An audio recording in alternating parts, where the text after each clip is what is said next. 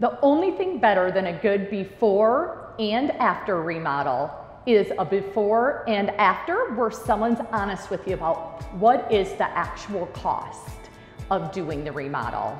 When I say actual cost, I mean, what does it cost someone that's doing this that doesn't maybe do it for a living and doesn't have bulk pricing that they've already negotiated? So what better opportunity than to show you what it costs for a kitchen remodel than to share with you our actual numbers. So right now we're at our newest investment property in South Scottsdale, the subdivision of Village Grove.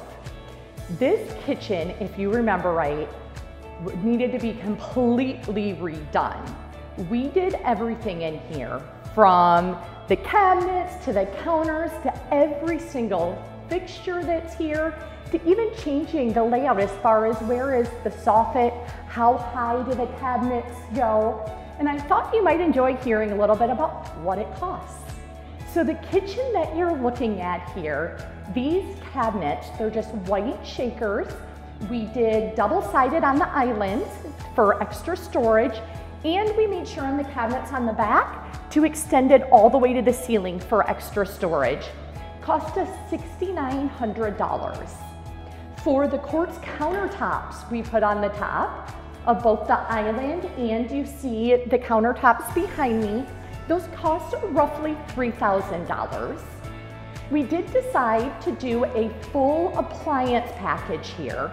So that includes a new fridge, and we made sure that it does have ice and water, a new dishwasher that you can't see that's behind the counter here, new stove and new microwave. That whole package was approximately $3,000. For the backsplash you see, we decided to splurge just a little bit.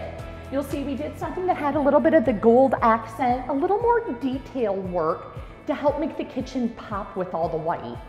With both the labor and the backsplash, that was roughly an additional $1,000.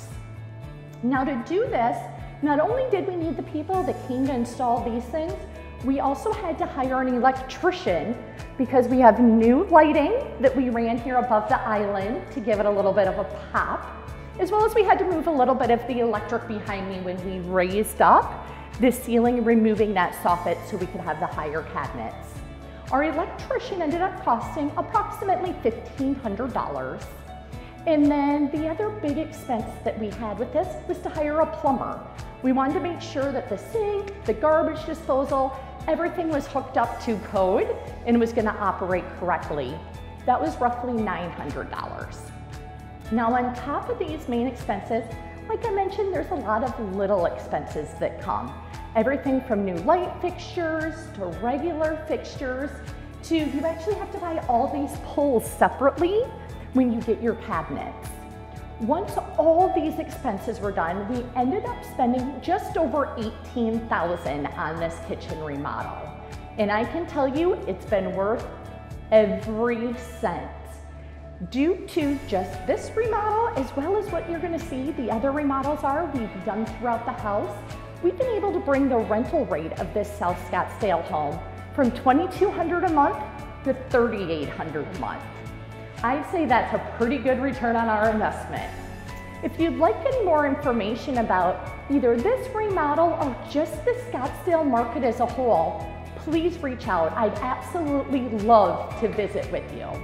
I can be reached on my cell phone, 480-387-3990, or just drop me an email or a message.